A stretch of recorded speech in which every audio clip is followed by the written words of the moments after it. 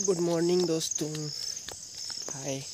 Hello guys good morning I love you. तो आज मेरा फिर एग्ज़ाम है। आज इंटरेस्टिंग ब्लॉग होने वाला है, क्योंकि आज हम जाएँगे शिव जी का मेला, यानी कि सावन का मेला भी घूमेंगे और आपको दिखाएँगे भी।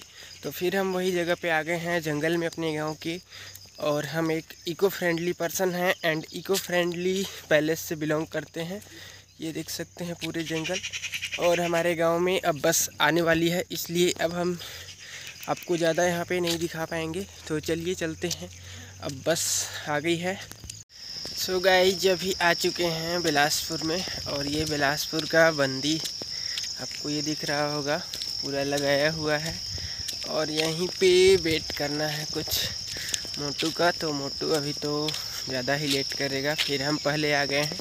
तो वेट करते हैं यहीं पे और फिर घूमते हैं।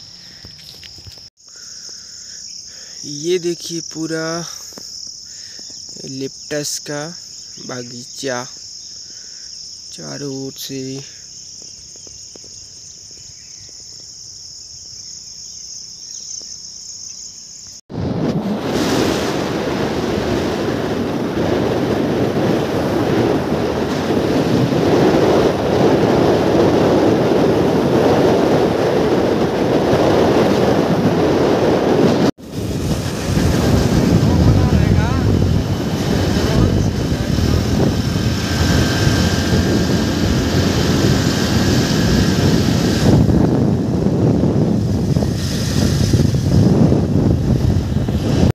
तो यहाँ पे देखिए बहुत ही बड़ा भव्य यज्ञ होने वाला है, जो कि भी इस तैयारियाँ पूरी चल रही है।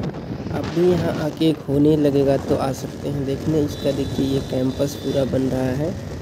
ये गेट तैयार हो रहे हैं और ये सारे देख सकते हैं किस तरह से मंडप बनाए जा रहे हैं पूरा। तो ये है नगर उटारी पाल्हे यह पूरा गाँव का नाम है, जहाँ पे हो रहा है।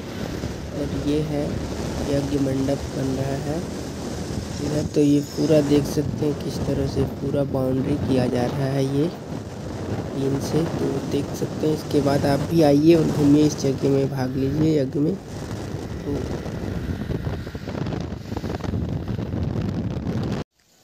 तो ये देखिए रहा मेरा प्यारा सा गाँव, जो कि ये देख सकते हैं इस तरह से मेरा गाँव है, छोटा सा। तो फ्रेंड्स ये देखिए क्या है।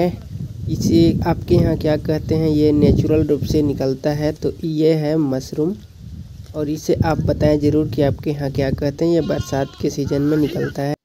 तो फ्रेंड्स अगर चैनल पे आप नए हैं तो प्लीज़ सब्सक्राइब करिए। तो चलिए, स्वतंत्रता दिवस की ढेर सारी शुभकामनाएँ।